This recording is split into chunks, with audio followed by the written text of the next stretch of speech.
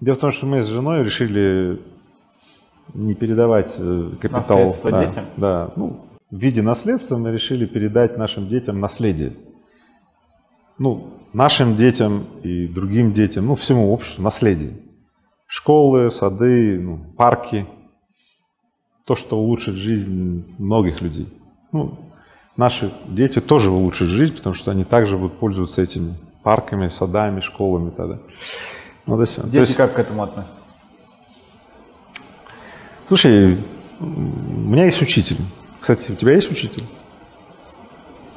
Мой лучший учитель это пока жизнь.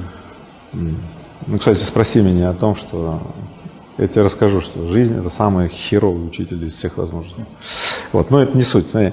Мой учитель однажды мне сказал на мою тревогу, в тревогу, что если я вдруг скажу детям, что мы хотим оставить им наследие вместо привычного наследства, то они э, будет какой-то ну, проблема, там что-то, мы будем ругаться, не понимаете. А он сказал мне следующее, просто один в один, говорит, слушай, если это произойдет до 21 года, ну желательно там, до 17 лет, то дети просто воспримут это так есть.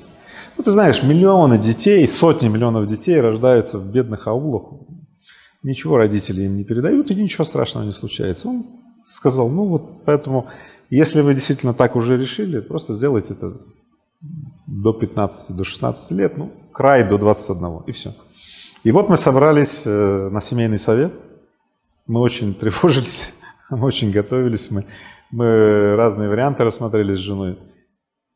И потом мы сказали, и мы увидели, что дети просто восприняли эту информацию, сказали, да, ну ладно. То есть как, как если бы они не отождествляли себя пока еще, подчеркиваю, пока еще, охранниками, ну что им придется, значит, стать, ну, вступить в права ну, наследства, то есть охранять то, что им дано. Они, они пока об этом, ну, не знают, это не их жизнь. Через две недели старший сын спросил, пап, ну, это не шутка была, ну, просто чисто вот. Я говорю, давай, нет. Развязывай пранковать, да? Да, это, говорит, не пранк был. Я говорю, да нет, все, четко. Все, ладно, хорошо. И все. И, знаешь, уже три года, а три года назад на это я наблюдаю, насколько снизилось внутреннее давление ну, в голове и в теле моего сына.